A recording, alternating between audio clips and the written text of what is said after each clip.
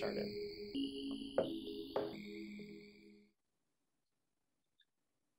Jen, July 15th, 2021. I'm alone in the company warehouse. Three stories above, at the top of the grocery pool, a few scattered baylights cast dark blue shadows between heavy and nebulous objects. It looks like the beginning of a star system. As I walk in search for my shift station, I hear the sound of a solitary grocery sorter. Hello? No one answers. The entire building is deserted. I came back to fetch my jacket, but there's no one around. Unused heavy lifting exoskeletons are strung up like carcasses. Rows and rows of anonymous orders wait in silence to be sorted. I walk into a clearing. I see the double jointed shadow. I see the, I see the sorter. It moves its mechanized arm in a stilted, uneasy pattern. When I approach, the arm stops in midair. It's holding something in its finger, in its fingers. It's holding my jacket. I walk up slowly. I make eye contact with its scanner. I grab the jacket, but it doesn't let go. Another arm swings around from behind its broad base and grabs my wrist. I tense up and nearly pull away, but the grip's not firm or menacing. We stand this way for a while, scanning each other, collecting data. It lets go of the jacket. It places its suction cup fingers onto my chest between my breasts and applies pressure. I find myself slowly sinking to the floor, letting its fingers guide me down. I relinquish control to the robot. When my body is fully prostrate on the ground, its silicone cups glide down my abdomen and circle my navel. The other arm scans a, sc- a, scar on my forehead, scans a freckle, continues to move down and scan all of my most intimate marks. It reads me front to back. I'm so read, I'm dog eared. I look around, but there's still no sign of life. I can't explain it, but I'm so turned on. I unbutton my pants and flay the waistband open wide. Synthetic fingers circle the curls in my pubic hair. The sensation is alien and thrilling. My breath is heavy and uneven as it tugs at my briefs. I grip its hand before it enters me and I look up. There's an opening, a rubbery orifice just below its machinic midriff. I reach for the hole, but it pulls its arm back to cover it. I try to pin it down, but my sweat makes for a slippery tussle. I stand up, grab one of its wrists, and place it under the weight of my foot. I grab its other arm with one hand and leer at its scanner. I goad. You like that, don't you? I look for a nipple or a knob or a switch to tweak with my fingertips, but its sleek surfaces offer up no other erogenous zones. I reach for the hole again, and its arms squirm. I place my mouth against the hole and lick. The edges of the orifice curl as I wet them with my saliva. The taste is salty from residual grease. I dip two fingers inside and the whole machine shakes. It tries to push me away, but somehow I overpower it. I dip three fingers, then four, past the knuckles, past the wrist. I thrust in and out and in and out and in. The sorter makes no sound, has no mouth to speak, but its scanning eye darts back and forth in frantic motion. Its titillated or terrified, I'm not sure which. I press hard into the hole. I'm looking for the button that will make it come. A far off voice echoes through the warehouse, one muffled monosyllabic with a question mark on the end. I quickly pull out my arm to find my fist covered in fluid. The voice calls out again, much closer this time, and I realize it's calling my name. I wipe my wet fist against the insides of my thighs and gaze up. A hand, a human hand, shakes my shoulder. I turn my head and it's trouble. And we're not at the warehouse, we're in her bed. She's still shaking my shoulder. Jen, Jen, wake up. You're moaning like crazy. What? I ask, suddenly awake and red hot. I mean, it's cool. She caresses my arm. It was actually kind of sexy. Oh. I roll over and press my face into the wall. I play dead. Trouble is silent, and I hope she's moved on. So, you gonna tell me what you dreamed about? She asks. I fake snore and she pinches she pinches my shoulder. Ow! I rub the tender skin and turn to face her. It was nothing. It was just a dumb dream. She sighs and lays down next to me with her head on her hand like she's got all the time in the world. Okay, fine, I relent. I dreamed. I dreamed I fucked a robot. She lets out one loud staccato laugh, ha, and turns to grab a bowl of cherry tomatoes on the desk behind her. She's popping them like popcorn. Go on. You know the grocery sorters, the ones I work with at the warehouse? She sits up and a tomato falls from the bowl onto the bed. Wait a second. You dreamed you fucked a grocery sorter? Oh, this is good shit, Jen. I squirm and furrow my brow. And I liked it a lot. I mean, don't get me wrong, it was nothing like when I'm with you. She rolls her eyes as she scoops up the fallen tomato. Yeah, yeah, noted. Did the robot like it? Oh, I don't know. It couldn't speak. I don't actually know if it understood pleasure or if it was just going through automated motions. At some point, I penetrated it. Oh, there's a, sorry, I'm just pausing for a second. Can you still see the image? Yeah, okay. At some point, I penetrated it. OMG, was it in robot ecstasy? Like I said, it couldn't speak. In the heat of the moment, I couldn't tell, but now I'm second guessing if it even wanted me inside of it. She stops chewing. You raped a robot? My cheeks emit solar flares. What? No, I don't think so. It all happened so fast. I mean, it came on to me first.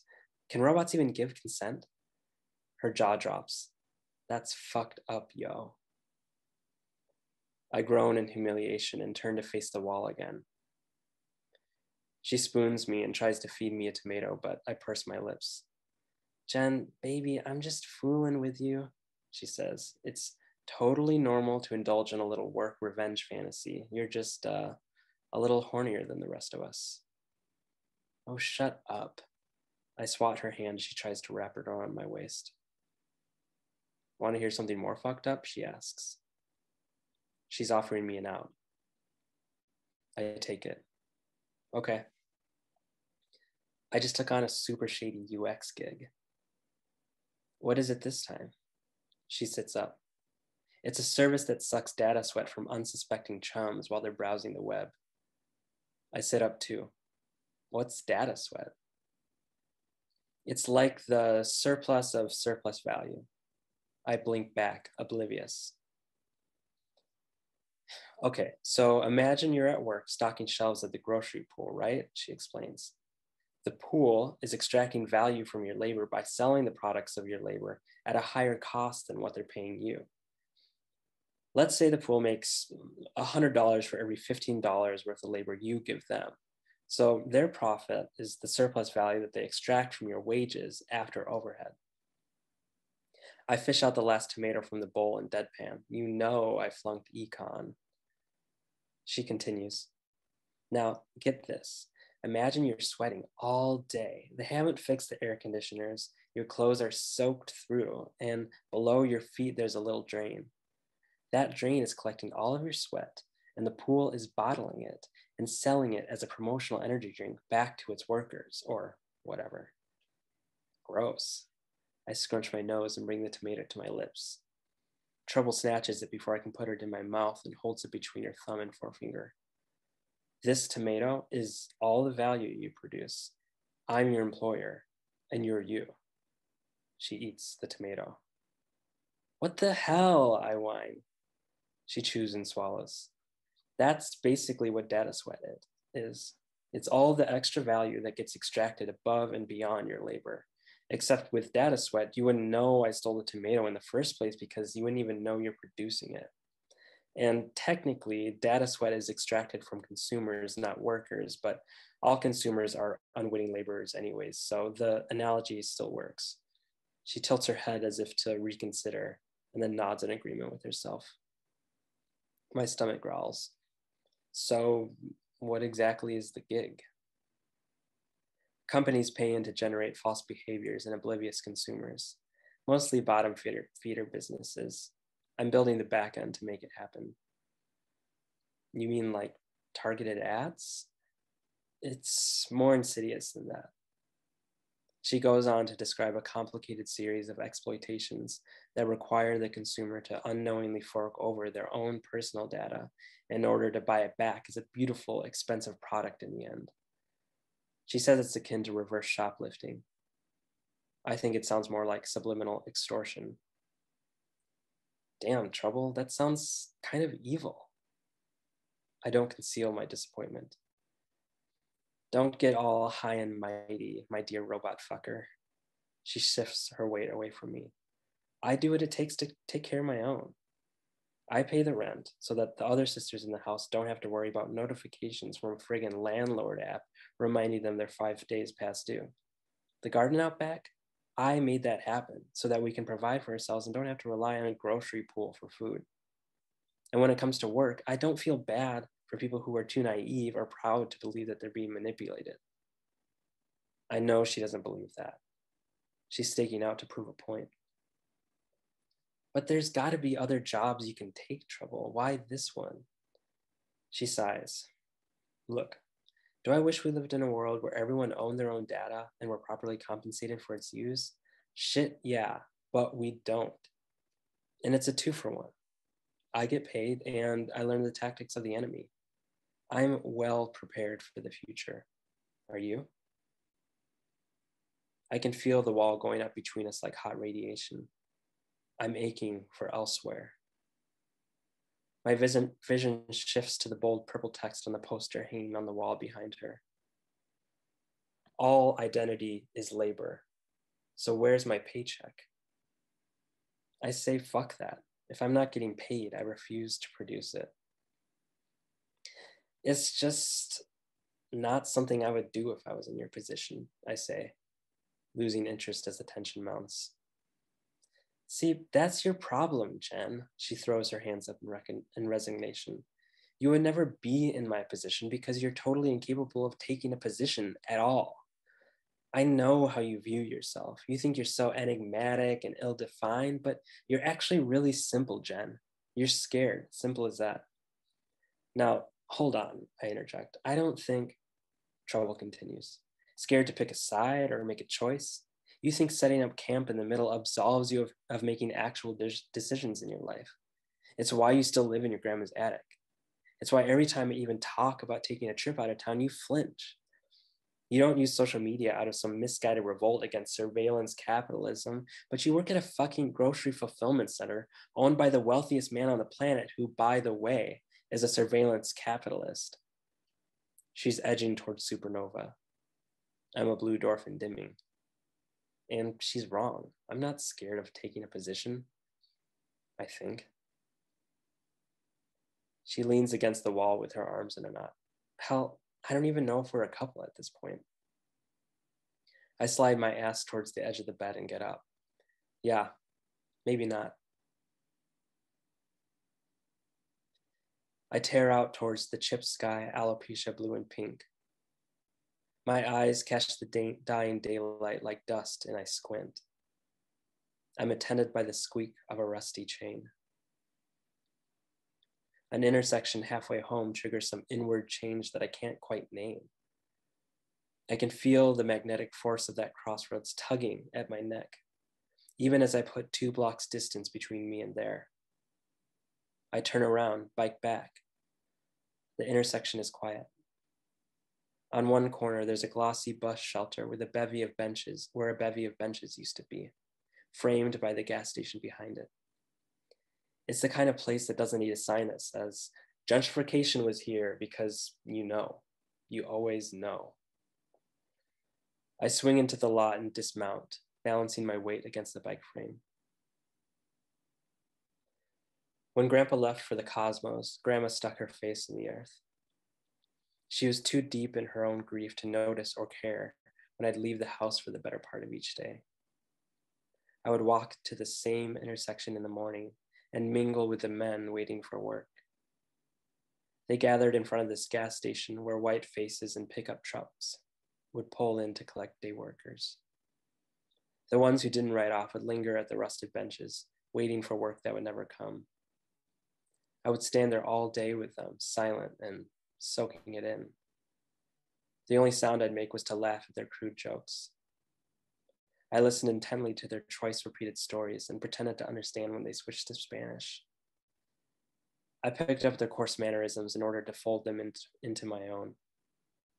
I was in a brown study. I did this every day for weeks. My hair was short and my chest was flat. They called me muchacho and patted my shoulder like I was one of the boys. They never questioned my presence. Even when I lingered until the last of them would leave, the sky striated with dark, stretch, dark stretch marks after days so full they surpassed their own limits and had the scars to prove it. The irony of hanging out with these older men after my grandpa died was not lost on me, even as an 11 year old, but it worked. I didn't have to grieve. I didn't have to be a girl. I didn't have to do anything but exist. I didn't tell trouble everything. I didn't tell her what I saw moments before waking above the sorter's scanning eye, a model name too clear to be mistaken. Genesis, same as mine. It's too stupid not to laugh. Under the weight of my own gravity, I collapse into myself. Thank you.